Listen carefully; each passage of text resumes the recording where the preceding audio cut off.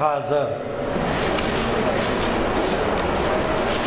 जनाब manager Pandey ji. Doctor Kuntal Megh ji. Doctor Vinod शाही जी। और तमाम आमिल आलिम फाजल। दोस्तों अपनी बात एक शेर से शुरू करनी चाहता हूँ। हिंदी में नहीं बोलूँगा, उर्दू नुमा हिंदुस्तानी में बोलूँगा। हिंदी मेरी ज़बान पर नहीं चढ़ती, लेकिन उर्दू नुमा हिंदुस्तानी मेरे सर पर सवार हो जाती है। अल्लामा इकबाल का एक शेर है। इकबाल तेरे इश्क ने सब बल दिए नकार। मुद्दत से आरज़ू थी, सीधा करे कोई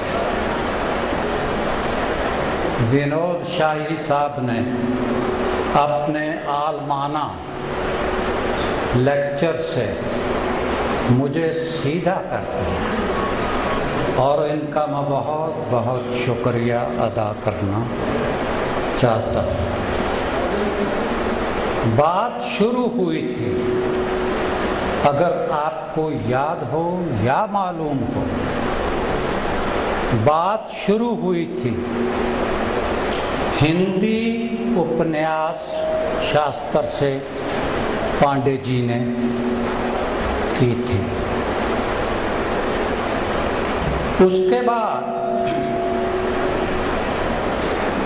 जो थ्योरेटिकल पर्सपेक्टिव होता है, इसमें कुछ ज़िक्र हवाला सा एक आया था। उत्तर आधुनिकतावाद का वो भी पांडे जी ने दिया था, जिसे पोस्ट मॉडर्निज्म बोलते हैं। फिर उन्होंने व्यंग की बात भी की थी। इसकी भी, इसका भी एक बाकायदा शास्त्र है। लेकिन इसकी भी शायद वक्त की कमी से या जो उनके सरोकार थे, उसकी वजह से उन्होंने इसकी तशरी करना मुनासिब नहीं समझा।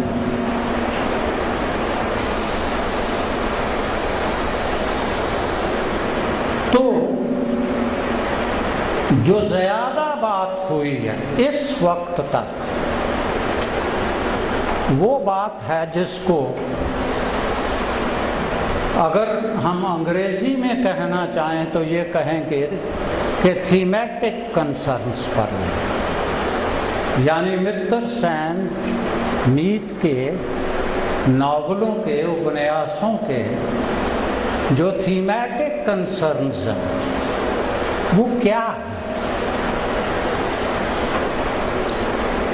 ये बात एक ऐसी बात है कि जब से तफ्तीश छपा उसके बाद कटहरा, उसके बाद कौरव सभा और उसके बाद सुधार घर आए।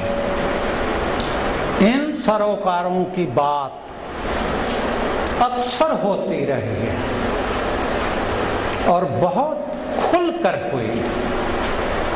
है इतनी खुलकर हुई है कि मुझे ऐसा महसूस होता है कि अगर मैं इस सिलसिले में इस वक्त कोई भी बात करूँ तो मैं की हुई बात को दोहरा रहा हूँगा। जो बात के मैं करना नहीं चाहता। मैं आप लोगों के ध्यान में एक बात लाना चाहता हूँ। वो ये है कि हम लोग जो सभी यहाँ इस वक्त बैठे हुए हैं,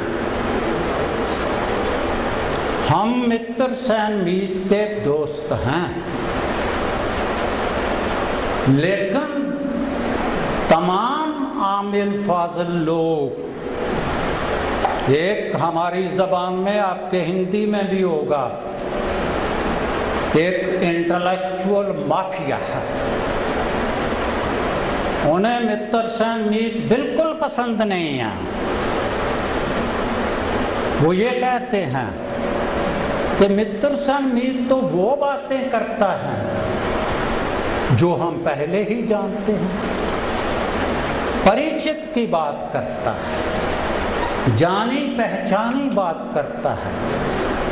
कुछ भी इसमें नया नहीं है, कुछ भी इसमें गहरा नहीं है। वो जो किसी भी पाठक की या रीडर की सेंस ऑफ़ इन्वेस्टिगेशन या इंक्वायरी या क्वेस्ट होती है, उसके दरियाफ्त पर नहीं छोड़ता। वो जो बात दरियाफ्त है, हमें मालूम है, उसको दरियाफ्त कर, उसको सुना देता है। यह क्रिटिसिज्म मैं यहाँ से बात शुरू करूँगा। मैं अर्ज़ ये करनी चाहता हूँ कि वैसे तो कोई भी नावल हो, बहुत सी बातें ऐसी होती हैं जो हमें पहले ही मालूम होती हैं। ऐसी नहीं कि नावलकार जो हैं, उपन्यासकार हैं, वो आकाश से कोई चीज़ खींच कर इस ज़मीन पर ले आते हैं। वो मालूम होती है। लेकिन वो बातें जो हैं, वो मालूम होने के बावजूद ठीक ढंग से डिफाइंड नहीं होते। नावलकार क्या करते हैं? या कोई भी आर्टिस्ट करता क्या है? कि जो हमारा जाना पहचाना और महसूस किया हुआ अनुभव है, वो उसकी फ्रेमिंग करता है। फ्रेमिंग से वो बात उभर कर सामने आ जाती है। एक परस्पेक्टिव एक परिपेक्ष बन जाता है। जिससे वो बात, जो पांडे जी ने अपने भाषण के आखिर में कही, जिससे वो हमारी चेतना जो है, उन्होंने लफ्ज इस्तेमाल किया, चेतना जो है। मैं लफ्ज उसके लिए इस्तेमाल करता हूँ संवेदना। जो हमारी सेंसिबिलिटी में जुम्बिश पैदा करती है, हिलाती है इसको। अरे भाई, जानते हुए भी सोए पड़े हो, जरा जागो तो सही। वही चीज़ जो है, वो हमें स्टेसिस में से बाहर निकालती है खींच कर आगे ले जाती है। पहली बात मैं ये कहनी चाहता हूँ कि मित्र सैन मीत जो है, इस पर कोई संदेह नहीं, कोई शक नहीं कि उसके नावल, उसके नावलों का जो वृतांत है या नैरेटिव है, वो ऐसे फैक्ट्स पर आधारित है। जो फैक्ट्स किसी न किसी ढंग से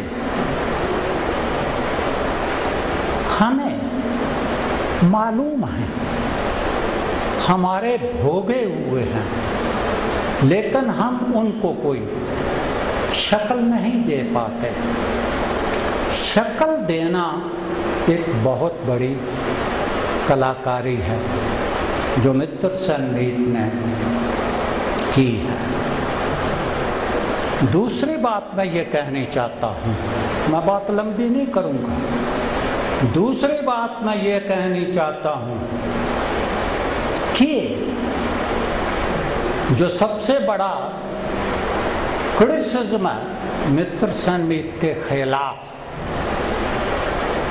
कल ही एक इंटेलिजेंस ब्यूरो का बहुत बड़ा ऑफिसर है, मेरा दोस्त था, मेरा स्टूडेंट भी रहा था, वो मुझे कहता था, आप लुधियाना चले हैं ना वहाँ जाकर मित्र सनमीत को समझाइएगा को कुछ शिल्पकारी का भी ख्याल रखा करें। मैंने कहा, भाई, तुम्हें मालूम नहीं कि उसके पास शिल्पकारी है। ये तो तुम्हारी प्रॉब्लम है, उसकी थोड़ी है। ये उसकी समस्या नहीं, तुम नहीं बूझ पाए तो तुम्हारी समस्या है। ये जो एक माफिया है ना वो माफिया इस बात को लेकर चला हुआ है कि इसके पास कलाकारी नहीं है। इसके पास सिर्फ़ एक सरोकार है या इंफॉर्मेशन है। कलाकारी नहीं है। तो मैं उनसे ये पूछता हूँ अक्सर, मेरे साथ वो सुनते हैं, बेवकूफ़ आदमी है, इससे ज़्यादा बहस में क्या पढ़ना छोड़ो इसको। मैं ये कहता हूँ कि जिस चीज़ को हम शिल्पकारी बोलते हैं, वो कोई स्टीरियोटाइप नहीं होती। अगर समझे ना, वो कोई अनुछाप होती है। What do we mean by craftsmanship क्या मतलब है जब हम बात करते हैं क्राफ्ट्समैनशिप या शिल्पकारी की? इसका मतलब क्या है? किसी से पूछ लो। नहीं बता पाएगा। मार्क शोरर ने एक मजमून लिखा था। मजमून का नाम था technique as a discovery. Discovery. कि टेक्निक जो है, ये एक ऐसी चीज़ है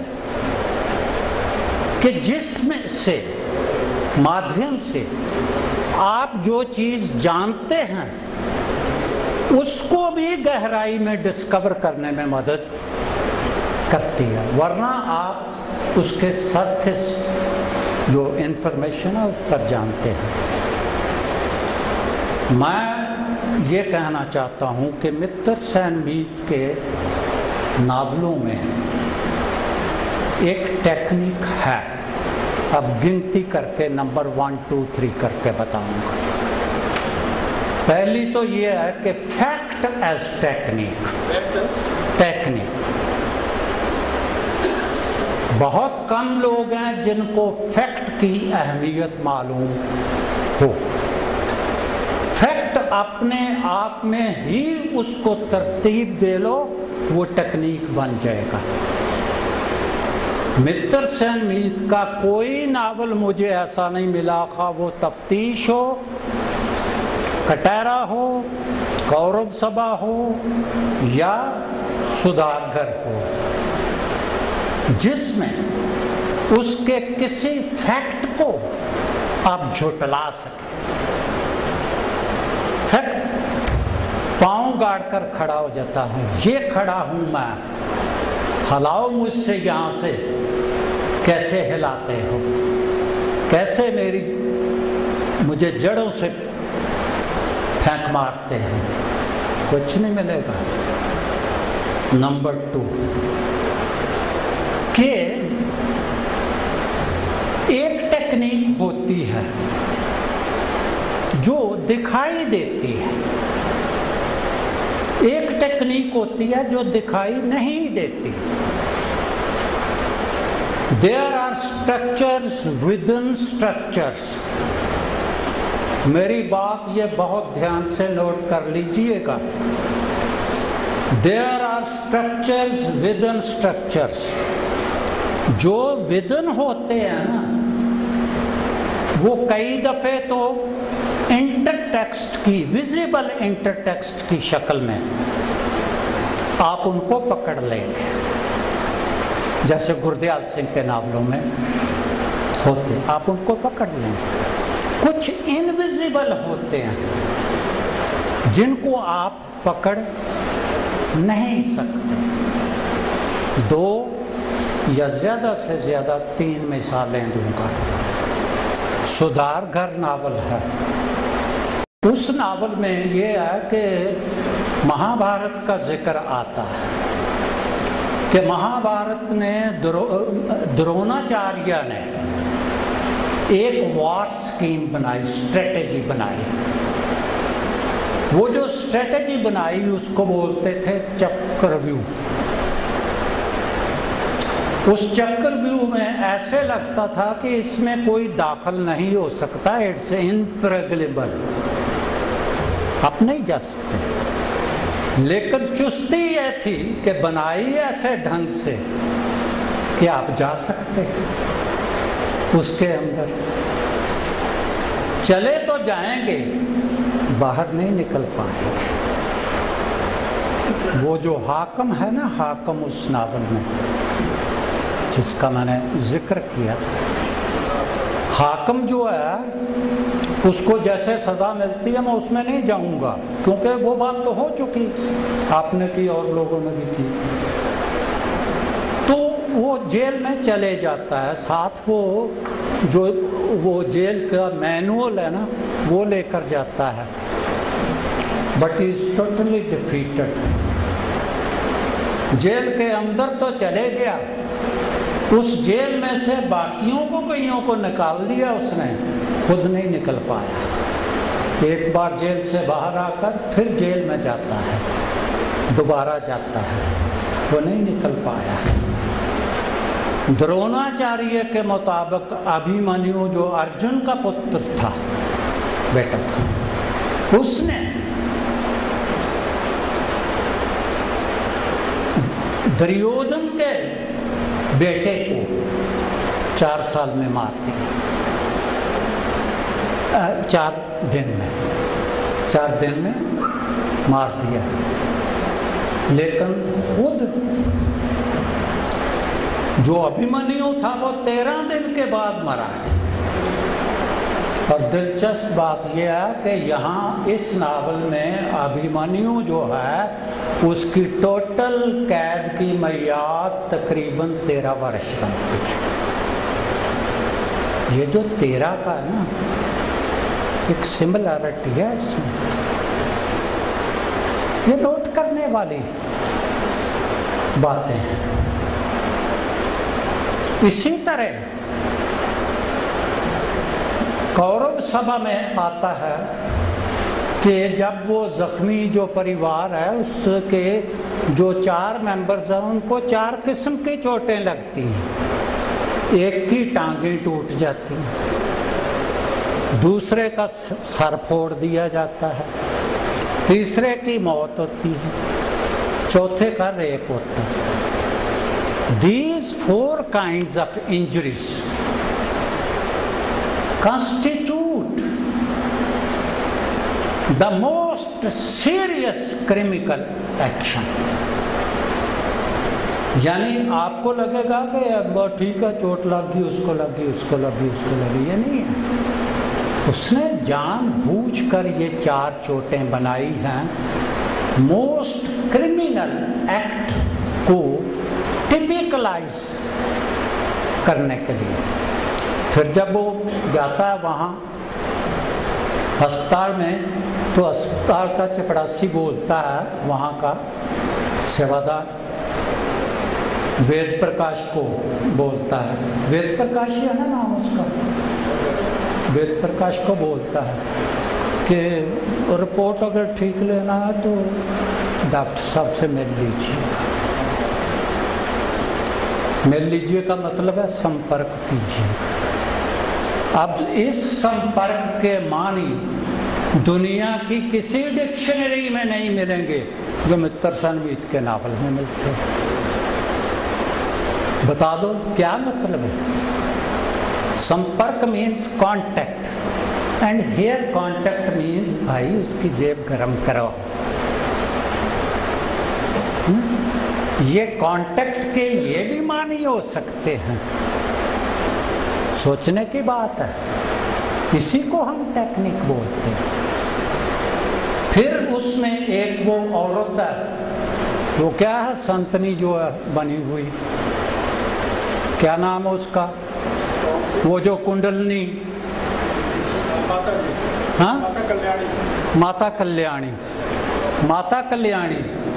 माता कल्याणी जैसे हज़ारों, सैकड़ों संत, देवियाँ आज हिंदुस्तान में मिलते हैं। जो भी सोसाइटी जितनी इस लिहाज से फिशर्ड होगी उतनी ही माताएँ पैदा होंगी। उतने ही देवते पैदा होंगे, संत पैदा होंगे। वरना इनकी ज़रूरत क्या? कोई ज़रूरत नहीं। It's a symptomatic construct in the novel ऐसे चलता है। इसी तरह तफ्तीश में है, कुछ मैं उनकी ज़्यादा नहीं बहस करनी चाहता। जो फैक्ट्स देता है मित्र सैनमीत उन फैक्ट्स जो तथ्य है, वो किसी भी तथ्य के माने नहीं दर्शाता अगर दर्शाता है तो मुझे पकड़ लो He never explains what a particular fact or a set of fact means. वो कभी नहीं बताता? लेकिन फिर भी बात पहुँचती है, संचारित होती है कम्युनिकेट होती है। इसको वेन्सी बूथ ने डिस्कस किया। इस telling and showing in his book rhetoric of fiction में। टेलिंग एंड शोइंग वो, पहले तो वो ये थीसस पेश करता है। कि किसी भी फिक्शन के पीसेस का काम है पीस का काम है शॉर्ट स्टोरी हो या नावल हो, कि it should show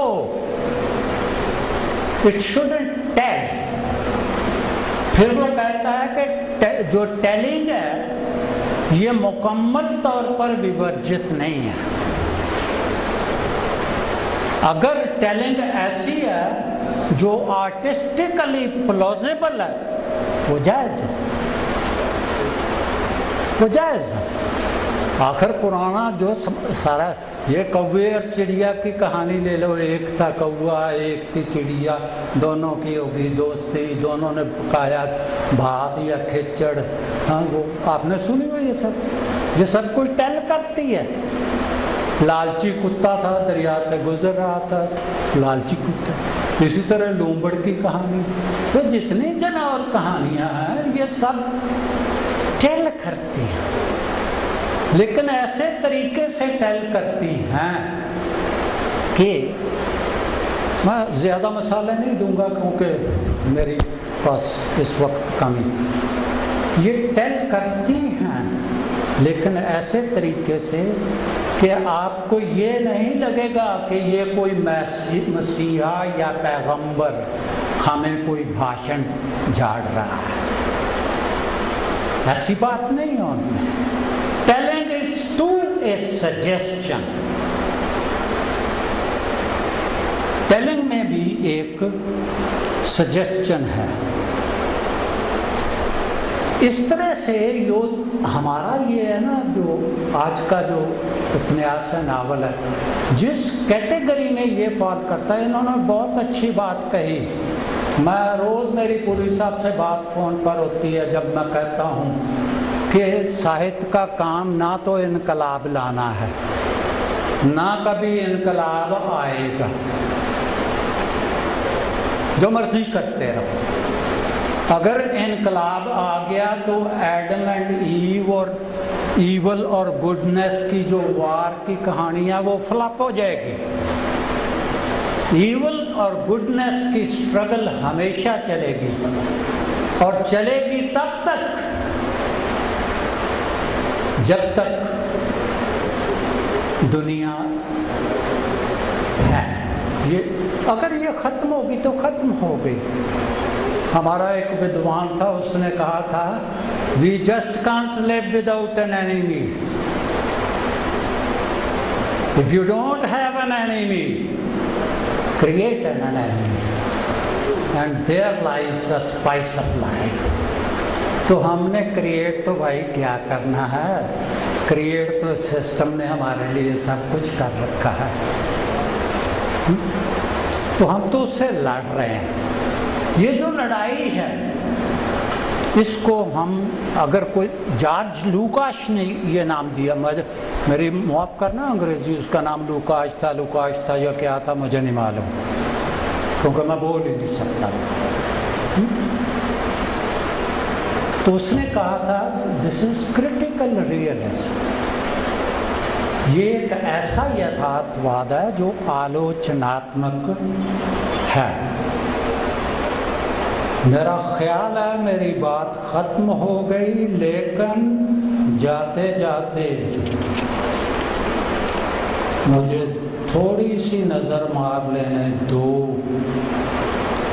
हाँ वो एक बात है। बस ये मेरी आखिरी बात हम ज़ोर देते हैं, आज भी यहाँ ज़ोर देते हैं पहले भी देते रहे हैं। वो ये ज़ोर देते हैं कि जो ट्रेडिशन हमने एक्वायर की है ना, ये अंग्रेज़ों की दी हुई है। एक डायरेक्टर जनरल ऑफ़ पुलिस हुआ है, यहाँ का पंजाब का, वो भोपाल यूनिवर्सिटी का वाइस चांसलर भी रह चुका है। उसका नाम है कृपाल सिंह ढिल्लो। उसने एक मजमून लिखा है। उस मजमून ने उसने कहा, ये जो व्यवस्था हमारे पास है ना, खासकर पुलिस सिस्टम की व्यवस्था, ये कौटल्य के ज़माने से चली आ रही है। कौटल्य का काम, कौटल्य के बारे में कंफ्यूजन है कि कौटल्य और चाणक्य एक आदमी थे या दो आदमी थे। ये कंफ्यूजन बहुत क्लियर नहीं है। अगर कौटल्य के मानी करो तो निकलेगा, इससे लफ्ज निकलेगा कूट। कूट से निकलेगा कूटनीति। कूटनीति से निकलेगा झूठ नीति और हमने बना लिया है डिप्लोमेसी लेकिन जो डिप्लोमेटिक एनक्लेव है दिल्ली में, उसका नाम रख दिया चाणक्य विहार। अरे भाई, ये दो बातें कैसे चलेंगी? उसका नाम भी कौटल्य विहार रख देते हाँ। कौटल्य विहार रखना चाहिए था क्या बात थी ये दो बातें रखने की? ये खेल होते हैं, राजसत्ता के। And thank you very much